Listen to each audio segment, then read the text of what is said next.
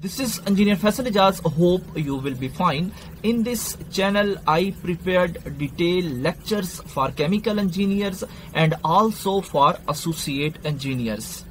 In this channel, you will find playlists of different engineering subjects which will help you in your study, in your interviews and also uh, during your professional industrial life. So subscribe my channel for more videos hope you will be fine. This is engineer Faisal Ijaz. In this video I will explain the cryogenic distillation of air.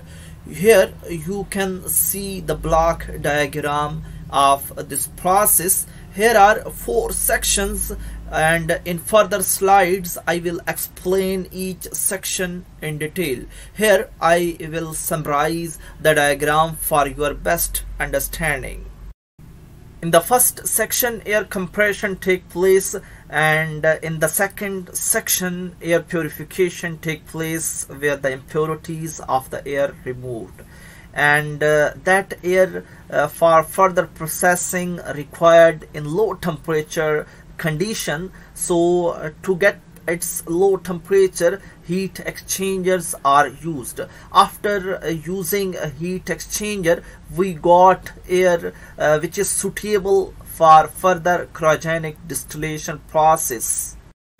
With the help of cryogenic distillation process we separate an air mixture and we got liquefied form of carbon dioxide, nitrogen and argon gas and our most useful product is carbon dioxide in the liquid form.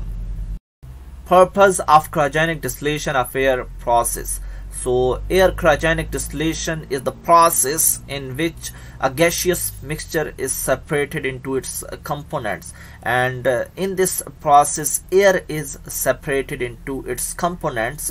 These components are nitrogen, oxygen and sometimes argon gas is separated. So these separation process uh, take place at some special conditions at high pressure and at low temperature. The main purpose of this uh, process is to produce liquid carbon dioxide. Meaning of cryogenic distillation. Before proceeding, you must know the meaning of these two words. So cryogenic mean low temperature and distillation is a process uh, at which we separate a liquid solution at its boiling point.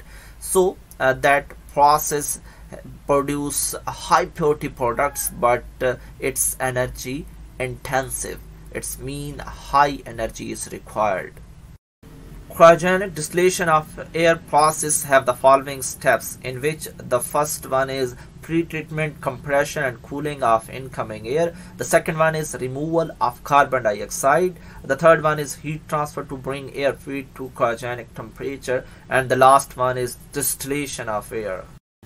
Pre-treatment of air. Before distillation process air is treated uh, by the following uh, steps the first one is filtration devices which are used to remove the dirt of the air. The second one is air compression to increase the pressure of air. Uh, air compressors are used. The third one is uh, air uh, cooling and that process is used to remove the vapors as vapors are present in gaseous form and after cooling they convert its phase into liquid and uh, then we can separate them. So uh, for this purpose several stages of intercoolers are used. And the fourth one is uh, for uh, further cooling mechanical refrigeration cycles are used after treatment of air, the second stage is removal of carbon dioxide. And in this stage water vapor and carbon dioxide both are removed. The reason of removal of these both is the clogging of equipment. As uh, further processing take place at low temperature and uh, at low temperature these both convert itself into liquid phase. And that liquid phase clog the equipment so to avoid this clogging uh, we remove uh, these both After pretreatment and compression, the cooled air is further processed with the help of molecular sieves. Here you can see the molecular sieves which are used for H2S gas and CO2 gas. So here you can see these molecular sieves. So these molecular sieves are porous material having very small sized pores in its structure after uh, packing. So different materials uh, sieves are used to absorb the carbon dioxide and water vapors. After removing the air and carbon dioxide, the next step is removal of temperature from incoming air. So for this uh, purpose, heat exchangers are used which treat the air so that the air got a suitable temperature for downstream units for further processing. Distillation of air. So to separate nitrogen usually one distillation column is required and to uh, get high purity of nitrogen two distillation columns may be used. So to separate oxygen usually two distillation columns are required. Uh, in the first column uh, we operated at high pressure and the second column operated at low pressure. So as a result oxygen is the bottom product in the both columns and nitrogen is the top product of a distillation column. Argon gas separation process so uh, that process take place in this unit.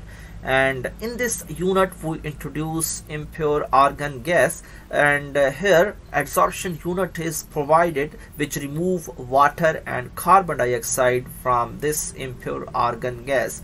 So uh, for further processing uh, that impure argon gas is treated uh, with the help of cooling and uh, its low temperature liquefaction uh, process take place.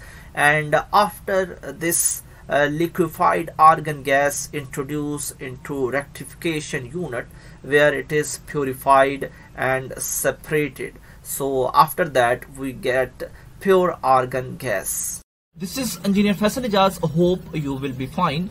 In this channel, I prepared detailed lectures for chemical engineers and also for associate engineers.